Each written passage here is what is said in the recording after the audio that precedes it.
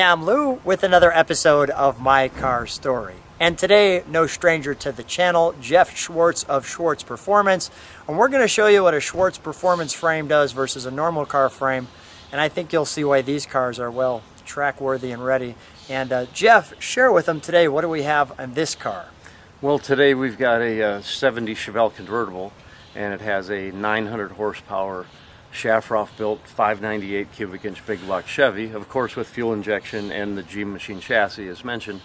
And uh, it's got every bit that you could possibly do to a, shell, uh, a Chevelle, from a billet dashboard to titanium fasteners on every point in the car. Carbon fiber, you have to see this to believe it. So obviously it looks, well, just like a Chevelle, like you'd expect, but as you can see with the colors of this one, this bee will sting you. So let's start off right off the bat. As you come up to the trunk, you see what looks like a carbon fiber weave. Well, that's because as we open the trunk, it's carbon fiber. So not only do you have 900 horsepower, and look at the beauty this total car is. This is a show car as far as, I mean, this is a driver, don't get me wrong. And we're going to take you for a ride in it.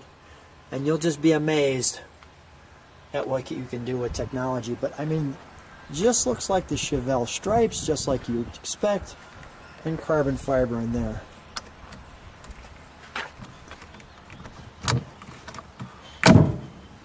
Oh, very nice. I like that. Very cool.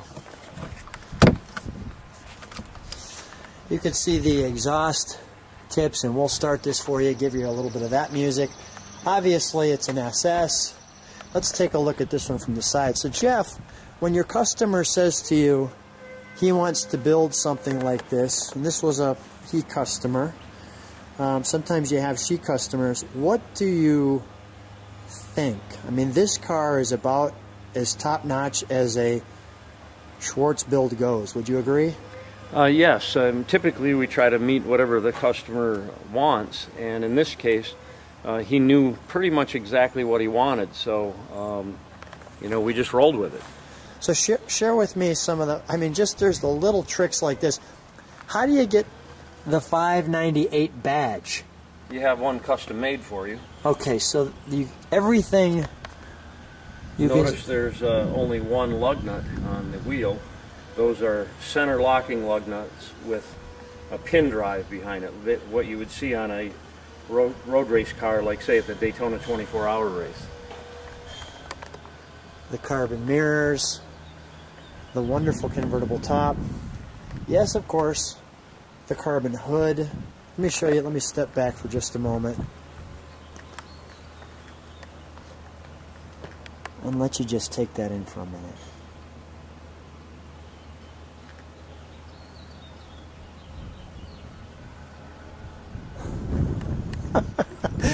uh, just amazing. Just amazing. All right, let's uh, open the, uh, the hood on this.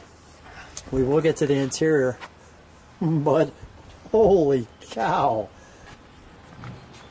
Those are some pipes.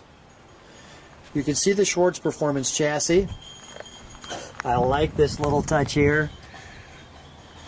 The VIN tag still intact. Notice you have a lot less wires on that firewall. Upgraded braking system. Carbon fiber valve cover caps.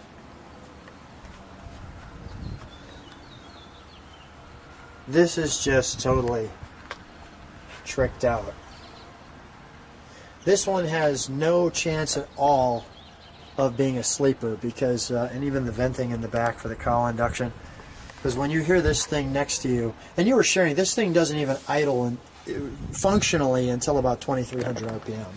When you're going down the highway, you need to keep it around 22 to 2500 RPM to for everything to smooth out. It's got so much overlap in the camshaft, it doesn't really like to go below that. It will idle at a thousand RPM, but uh, but it jumps. And when you start driving it, you got to keep it up a little bit so it doesn't jump all over the place. All right, let's take a look. I mean, look at the suspension.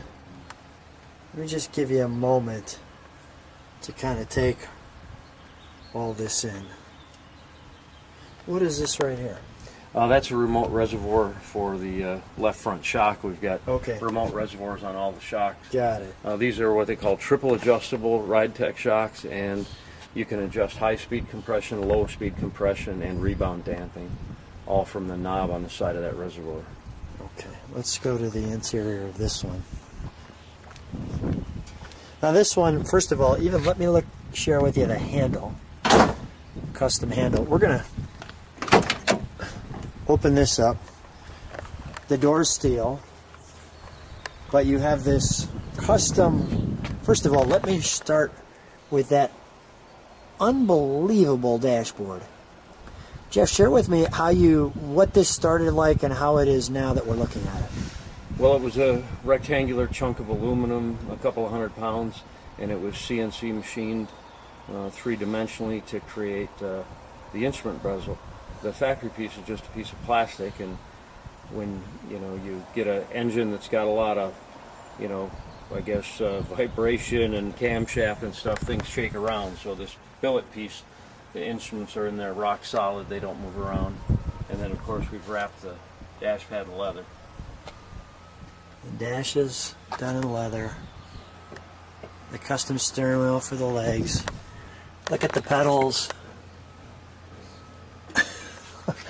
Tell me what the red button for here on the shifter. That's a line lock for doing burnouts. Line lock for burnouts, six speed Tremec. And this is your, I'll call it your Windows control panel because you'll see there's no up and down switches, there's no handles there, although there's the handle to get out of the car and your stereo system, which you saw. Let me just go this way and show you that carbon fiber seat.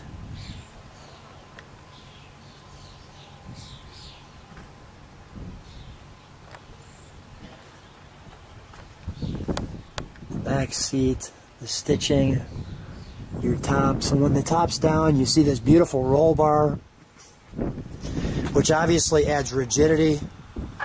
Even the little vents here in the uh, door jamb are billet. That's a billet piece there. That's amazing. If you want to see a Schwartz performance uh, discussion, you can go in the description and uh, sit back. Notice the five point harness here. Go in the description of this video and give Jeff a call if you've got a car that you need to look like this. You get, as my hand is across it, you can hear the, the leather. So it smells great in here. All right, Jeff, um, let's open the hood one more time. I'm going to have you get in it. and just for grins, we'll let people listen to it idle. And then we'll give them a rev or two. All right.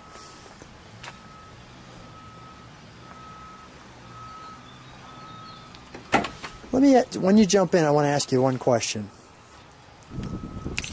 So, when you get to the point, because this car is just about ready for delivery, what is your feeling as being the owner, knowing your team produces this? I mean, what what what does that make you feel like? Well, it uh, we do this every day, so you kind of sometimes take it for granted. But uh, when I take a moment and sit back, I'm I'm really proud of the stuff that our crew puts together here, and uh, you know I'm glad that we're able to fulfill the customers' dreams. Yeah, that's exactly what it is. You're a dream maker. Listen to this. I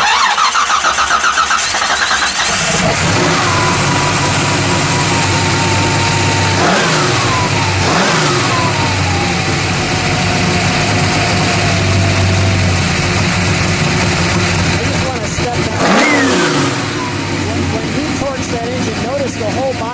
Matter of fact, I'm going to show you what a Schwartz Performance frame looks like now. So solid that the whole body will work. That of fact, I need to show you what a Schwartz Performance frame looks like now.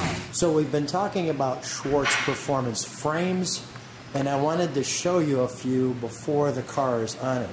This frame is actually the frame for a unibody car. Now, a unibody car is just what it sounds like. And every Schwartz Performance frame gets a little serial number tag so they can keep track of it with the car. So on a unibody, once you put this underneath that car and bolt it to it, along with the suspension parts as you can see in the, in the braking system, this thing's going to run like a track car. And I'll give you an example on this Woody that's up here that's being built.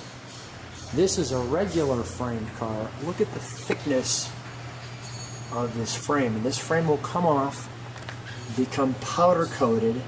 They're fabricating it to the car right now. Let me give you a shot this way. I'll let you take that in.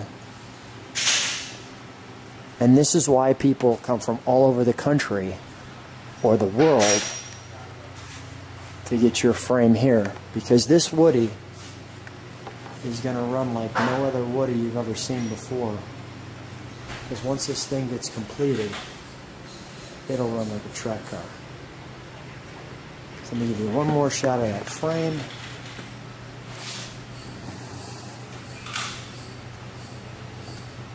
And there you go. Let's go back to the show. Listen to it idle. Jeff, give it just a second. Let me listen to it idle.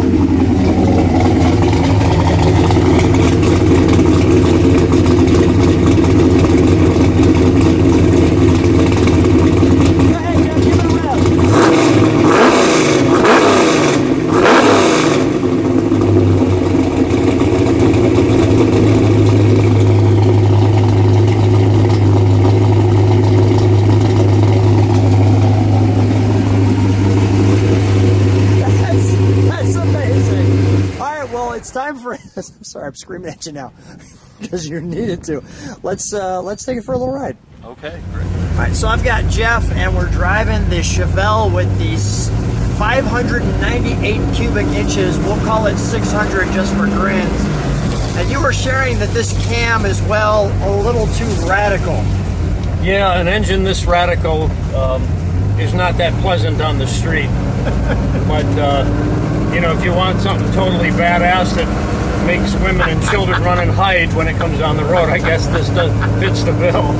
So let's just show this unique dashboard. You were sharing that this is all one piece of aluminum at one point. Yeah, the, the uh, instrument bezel was carved out of a, a, chunk of billet. I think it was like 200 pounds. And uh, it's all three-dimensionally machined, and that mounts the gauges inside. And you were sharing that this one in particular has to idle at about 2300 just to be normal. So well, when you're when you're driving, you need to keep it above 2500.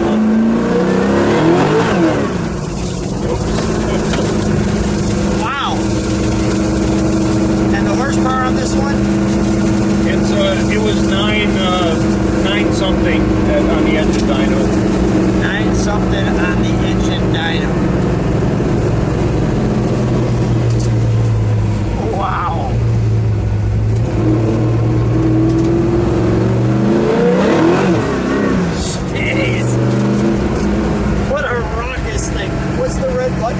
For uh that's a line lock for doing burnouts. I mean right.